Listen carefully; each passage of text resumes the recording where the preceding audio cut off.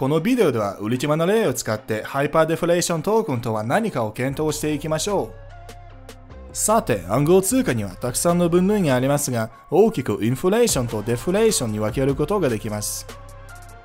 発行量またはインフレーショントークン市場の総供給量は増加し、デフレーショントークンの供給は厳しく制限されて減少しています。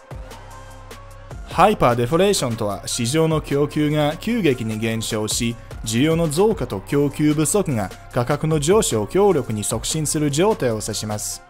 なぜ市場上のコインの供給量を制限して減らす必要があるのでしょうか？経済の法則により時間が経つにつれて市場に供給不足が発生し資産価格の上昇につながります。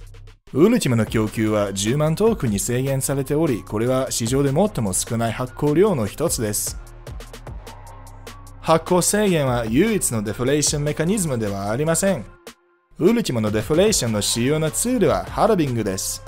ハルビングの主な目的は新しいトークの発行量を減らすことによって暗号通貨のインフレーションを抑制することです。ハルビングは暗号通貨の価格上昇を刺激し、需要を高めます。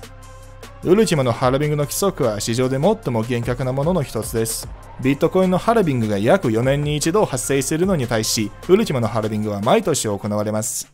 現在市場には1日に約900ビットコインが供給されていますが、ウルティマはわずか1日に50トークンです。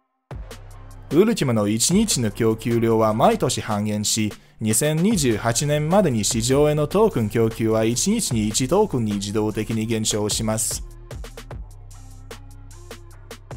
ウルティマの供給量を減らし、トークンの需要を増やすもう一つの製品は、スマートウォレットというウォレットです。ウォレット上の過去取引に対し手数料がかかり、これは自動的にブロックチェーン上で50年間凍結されます。これにより、ウルティマの流通量がさらに減少し、価格の上昇が促進されます。